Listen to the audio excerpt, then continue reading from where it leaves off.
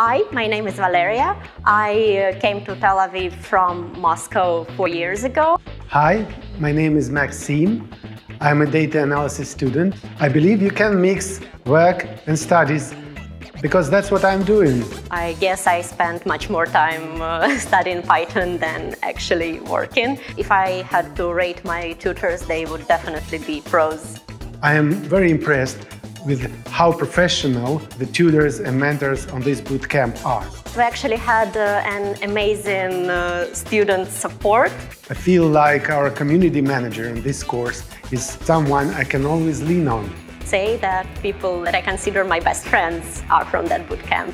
I think it's a great place to make friends. I think the main change is my self-esteem because in my previous career I was a book editor and even though I was good at what I was doing, I still never felt as valued as I feel now when I work as a data analyst. I've been a research editor for many years and then I thought it was time for me to make a career change. And then I heard about this bootcamp and I thought it would be a great place to be and learn a new skill. I definitely believe that you can start a new chapter in your life uh, even when you are over 30 or even if you have a completely irrelevant background. I definitely recommend this bootcamp to everyone who wants to start a new career, who wants to enter high tech, and to be honest, uh, to all friends of mine who are asking me like uh, how to find a job in Israel, and I'm always saying, how I know a very good bootcamp, you should try it.